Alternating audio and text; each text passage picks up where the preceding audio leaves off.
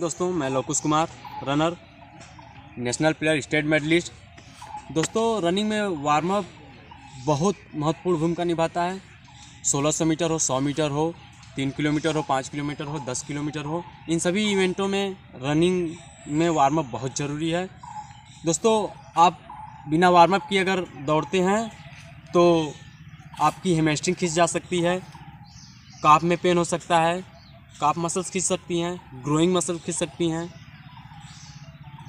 आपको सिन पैन उभर सकता है। दोस्तों, इसीलिए वार्म अप किया जाता है कि हमें कोई दर्द ना हो, मेरा अच्छे से प्रैक्टिस हो जाए वर्कआउट हो जाए पूरा।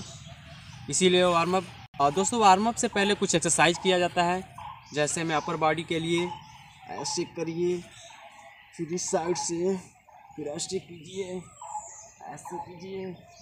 फिर ऐसे कीजिए। फिर ऐसे कीजिए। ये हुआ। इसको कीजिए। शोल्डर रोटेट कीजिए। Back rotate shoulder. ये कीजिए। थोड़ा कमर रोटेट कीजिए। ऐसे।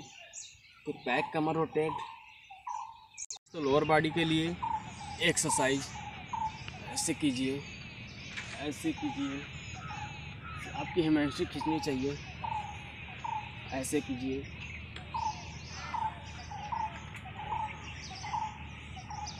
ऐसे कीजिए। उसके बाद दोस्तों ऐसे ऐसे हल्का हल्का धीरे धीरे जॉगिंग करते हुए अब जब वार्म अप करके आते हैं तो एक्सरसाइज कीजिए। उसके बाद अपना वर्कआउट शुरू कीजिए। जैसे मैं एक्सरसाइज बटर किक हो गया।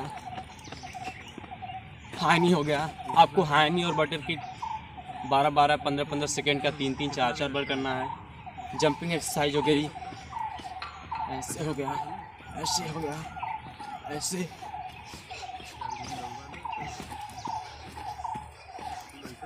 ये हो गया। ये सब एक्सरसाइजें करें। दोस्तों उसमें एक और एक्सरसाइज कर लें।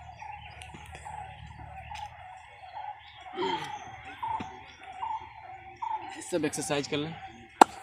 ठीक है दोस्तों एक करें वार्म अप